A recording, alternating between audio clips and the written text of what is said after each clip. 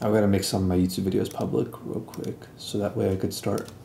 That way, some people can actually watch the stuff on my stream when I post it. You know, like in this Discord server, because on Discord right here, I have a thing in here that's socials, and it's like, uh, right here.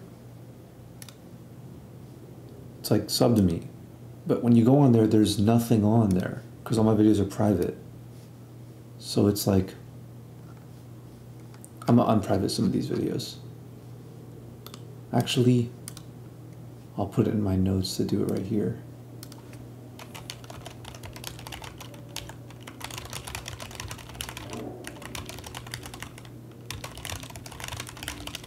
Okay, cool, cool, cool. There's a lot of old, like, offensive YouTube videos that I have. Um, but they're all private. But I'll, I'll, I'll make them public. If I get 10,000 YouTube, if I get 10,000 YouTube subscribers, I'll make them public. Because that's when I'll have enough income to, to manage that sort of thing. To manage the strikes I'll get from it. But yeah, I'll make those videos public one day. 10,000 subs, and, and they're public. 10,000 subs on YouTube, not on Twitch, because that would be absurd. Actually, that's not even. I plan on getting 10,000 subs on Twitch one of these days. I'm optimistic about it. See, I, like, there's. I can offer something to, to the Twitch audience that, that is not being satisfied right now. Like, see, the way these streams are that other people do, they haven't caught up to the meta of social media cinematography like everyone on Twitch and even YouTube, like they're kind of behind the curve. Like generally, people on like TikTok know they they know by now, and like I would say half the YouTube community knows, uh, like half of Instagram knows, like these advertise advertisers they all know like no advertiser uses gimbals anymore. Now all they do is handheld shots the problem with the way people stream right now is the video quality is garbage. I'm not talking about like the resolution or bit rate or whatever, but just by the way things are filmed. Like every stream looks exactly the same. There's no character or personality in the aesthetic of the the stream. Like just chatting streams are just chatting.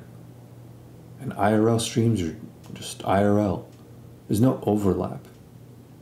Like there's no um, when you when you listen to a certain amount of music, like when you start expanding your taste in music to start to look for artists across the board, uh, no matter the size, you start to realize, oh, there aren't even any music genres. There's way too much overlap to even categorize them. And in the same way, there there shouldn't be an over to people who are like deep in Twitch. There should there shouldn't be a way to differentiate between just chatting and IRL. But right now, there's no overlap at all like you look at anybody's stream, it's very easy to tell which one they fall into. And that's bad. In an ideal uh, ideal streaming ecosystem, the Venn diagram of IRL and just chatting should be a circle. Like you go on you go on just chatting right now, all the streams are like static. Uh, the camera angles are all the same. It's like steady, it's boring there's very little flexibility, is what it feels like. It's the same, like upwards angle over and over and over again. Like especially if, it, if the streamer is a girl, they always have that same like 15 degree angle or whatever. They're never at like eye level. And they're always sitting down for just hours and hours at a time. Like these people who do just chatting only take breaks to like use the restroom.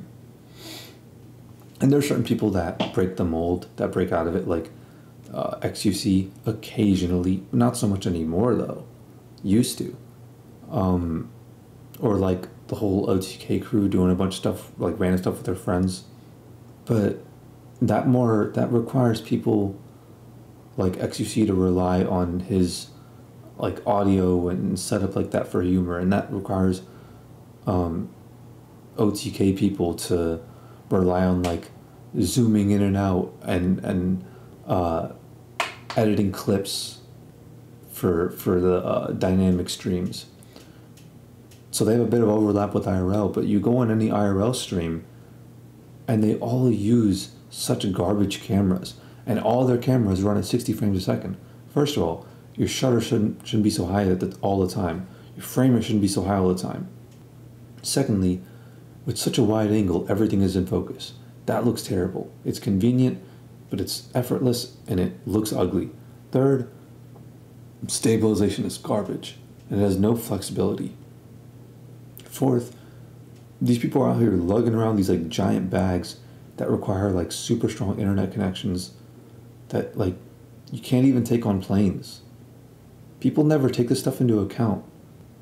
That kind of thing messes with the content of the stream. Like the inconvenience of using it will mess with the the the uh, creativity and the the mood of the streamer. Ever notice how like the funniest memes are always recorded on phones? Like it's much easier for people to be natural on a phone, uh, on Snapchat or whatever, than it is to be a, on a DSLR with a boom mic in their face. You know, like this is stuff you have to take into account, like the heat of the setup and the battery life and all that stuff. The the weight for long hours uh, the weight on, on, your shoulders of the backpack, uh, of standing and walking constantly, like the terrible, terrible dynamic range you get from these uh, like very tiny camcorders. The fact that you can't even uh, change lenses on any of these cameras, they don't have interchangeable lenses. XQC makes millions, and he has a worse streaming setup than I had when I was 12 the best Mizkif streams are old, like shit quality streams with barely any light, um, and it just all it is is just characters with a ton of chemistry. The content is everything. All what you should really be doing is using your uh, aesthetic tools to enhance the content, not as a stream. The equipment should bring the content to life not hinder it. Remember all those vines? Or like the, the like funny TikToks people just catch of like random stuff. Like I remember the vine it reminds me of the vine of like that uh that guy hitting the other guy with the pillow and the bro's like, Hey bro, stop, stop, bro. Watch out uh, watch out for the light, watch out for the light. And the guy stops and then he immediately breaks the light right afterwards and then it cuts right there. It's like that was one of the precursors to modern streamer humor. Like you farm clips knowing damn well that the editors are going to find a funny place to end the clip abruptly. And it's not even, it's done so often, it's not even funny anymore. Like there's nothing surprising about these clips anymore. Because every clip is like that now. Like, nah, there needs to be set up and pay off. Streams need to be flexible. They need to be lightweight. Lots of battery life barely noticeable. Doesn't impede the stream, you know? Doesn't hinder anything. Something's got to give at some point. And the solutions right now are garbage. I'll work on fixing that. But for now, slowly I'm going to upgrade my setup. I'm going to get a webcam pretty soon and I'm going to use myself as an example. IRL, just chatting, gaming, and variety all in one. Give it some time and I will have the best damn streaming setup you'll ever see. I want to uh, recreate that atmosphere of like being with the squad and having those like laughs, those like 3 a.m. Xbox Live party chat laughs.